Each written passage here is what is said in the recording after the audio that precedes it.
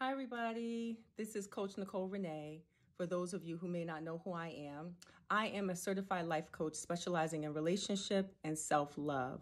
Tonight, I'd like to talk to you about a topic that's very dear and near to my heart, and it is what is love?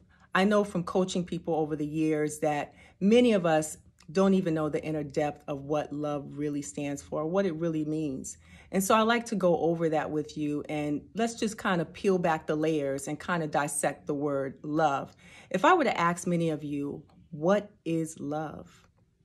You would probably refer to your spouse, your children, maybe, possibly an animal, a parent, God. You know, there's different areas, if I were to ask you, what is love, you would answer differently based on who you were actually referring to.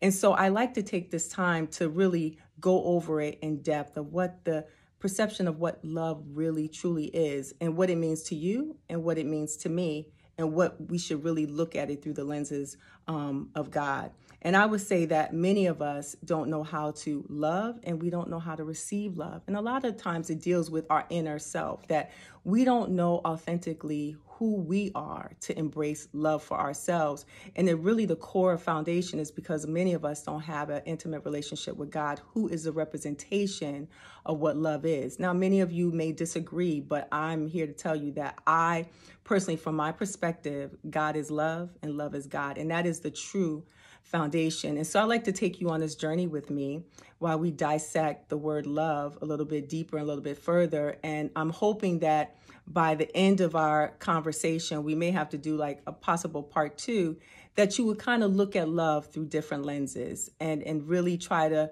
adjust how do we see the word love. Okay? So, welcome you on this journey with me.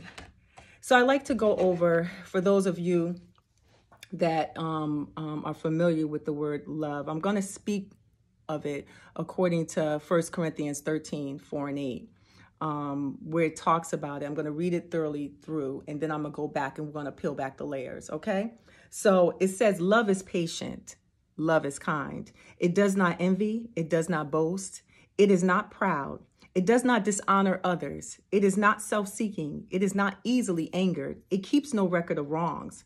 Love does not delight in evil, but rejoices with truth. It always protects, always trusts, always hopes, and always perseveres love never fails.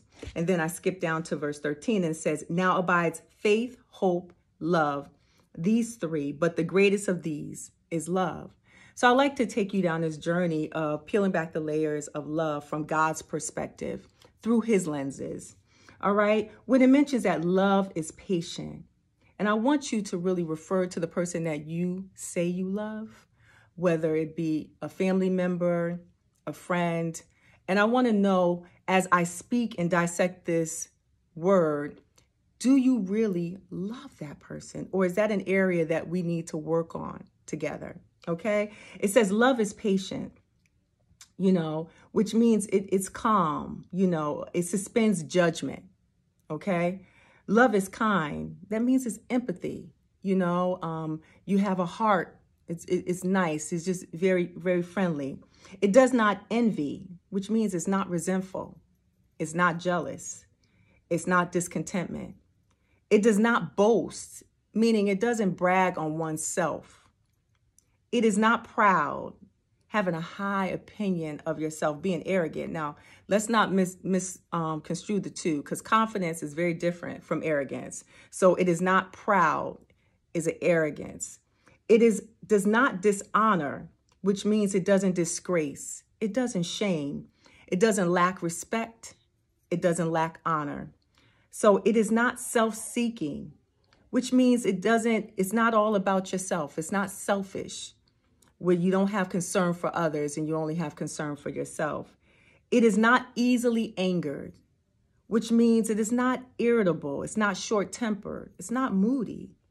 It keeps no record of wrongs, meaning it's not remembering the evil that was done to us or refusing to trust people um, who have proved themselves unworthy. Love does not delight in evil, which means it doesn't delight in wicked behavior, morally wrong, but it rejoices with truth, meaning that it's proven by facts of sincerity. It always protects, meaning love defends, shield, guard. It keeps secure. It always trusts, which means it's reliable. As confidence to trust each other, it means to build. It means always hope, feeling good. Things are to come. It always perseveres, meaning that it can, continues the course of action in the face of difficulty. It's persistent. Um, it's an important character trait for success, perseveres. Love never fails, which means it never misses the mark. It succeeds. It meets expectations. And now it says, and now abides faith, hope, love, these three, but the greatest of these is love, meaning it's intense feeling of deep affection. And I say all that, that as we dissect those words, are we really loving one another in the eyes that God feels that we should? And I have to beg to differ. Many of us are not.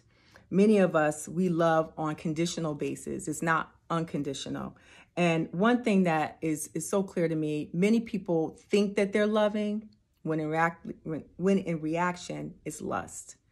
Um, there is a pastor, Dr. A.R. Bernard, that always says the difference between lust and love. When you lust for someone, you're benefiting self at the expense of others. But when you love someone, you're benefiting others at the expense of yourself. So you have to really determine and distinguish if you are in love or you are in lust. Okay. And one thing that I think is key is that many of us are walking around and we don't have an authentic love for ourselves, which is a major problem because we were beautifully and wonderfully made by God, right? So if we don't have a love for ourselves, I question on where our relationship is times with God. Because I think the more I seek God's face and the more I spend time with Him, my love for myself and my love for Him grows. And my love for others, it just expands. It's something about that, it just expands. And so it's important that for those of you that don't know what it means to even love yourself, I encourage you to establish a relationship with God, to really read His Word, to really sit at His feet and just be able to absorb what He has to say in the Word of God as it relates to you and as it relates to the character of God, because we need to strive to be more like God right? I think that that is really, really important.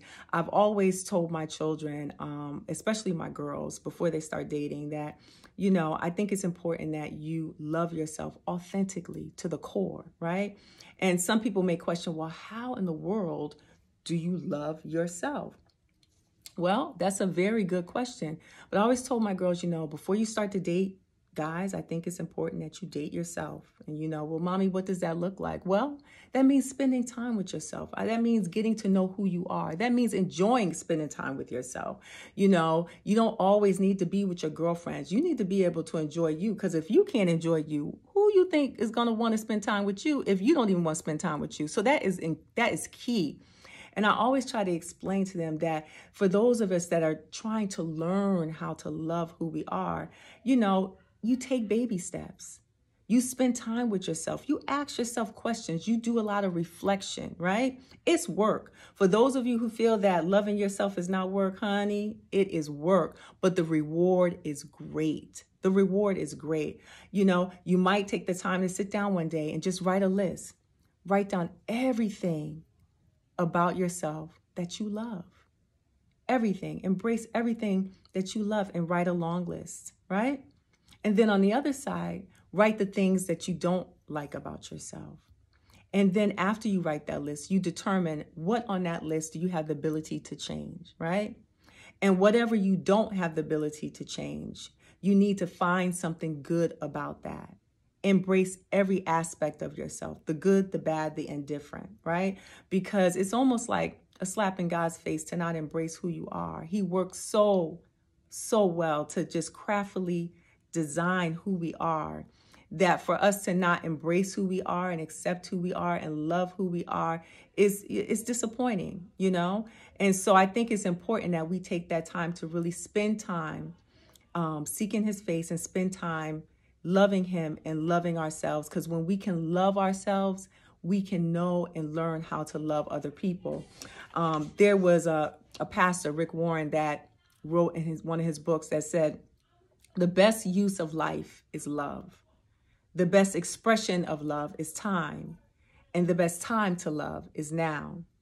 Because we're not guaranteed tomorrow. We can see based on the pandemic that we have encountered, tomorrow is not promised. So we need to appreciate and love on those that we have the opportunity to do today and not take things for granted right? Because of many of times we get caught up in projects, we get caught up in things. And one thing that God really values is relationships. He speaks of that. And um, it, it's a it's top priority in his list because love is top priority in his list, and so relationships is right up there. And so it's important that we don't get so caught up in projects and so caught up in things that we miss out on loving our fellow brother and sister, right? It's important that we spend time to love on those that are around us, right?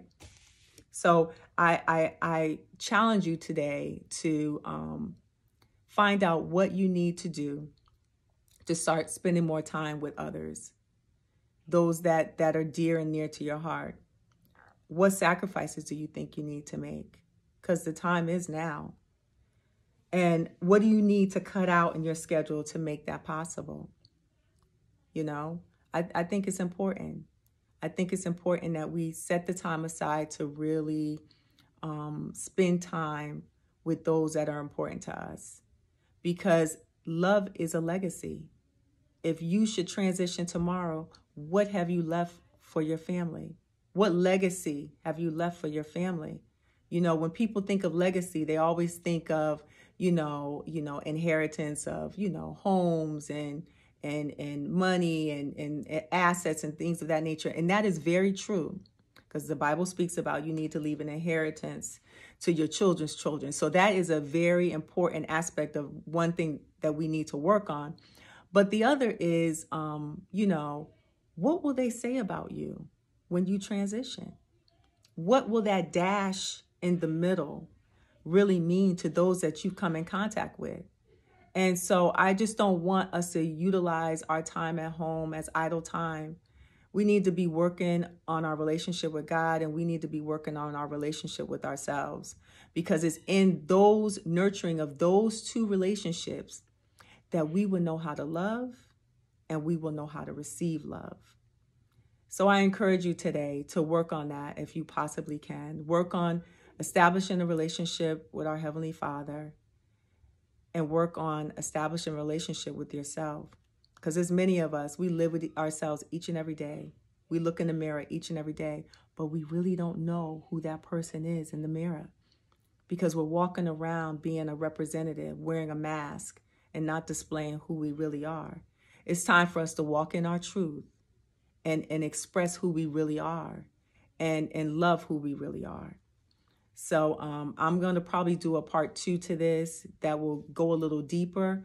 But um, I just wanted to touch base with you briefly and, and give you something to think about, something to really ponder on. Okay. And um, I hope you take this time to, to love on those that are very important to you. And I hope you have a wonderful, wonderful evening. Good night.